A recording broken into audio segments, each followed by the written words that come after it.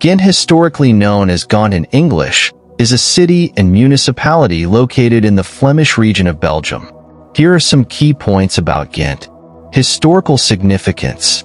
Ghent originally began as a settlement at the confluence of the rivers Scheldt and Ley.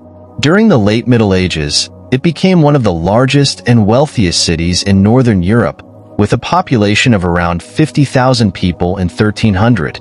Despite its decline in importance after the late 16th century, Ghent's well-preserved historic center now attracts tourists from around the world. Geography and demographics. Ghent is the capital and largest city of the East Flanders province.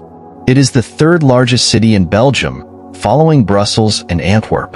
The municipality includes not only Ghent proper, but also several surrounding suburbs.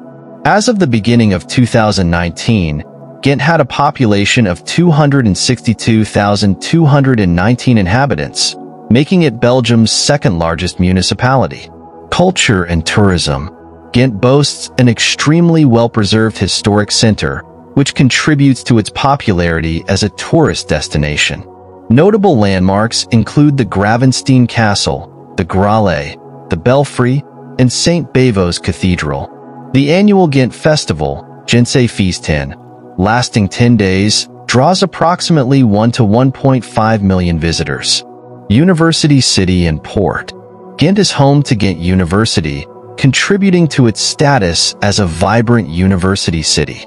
It also serves as a port city.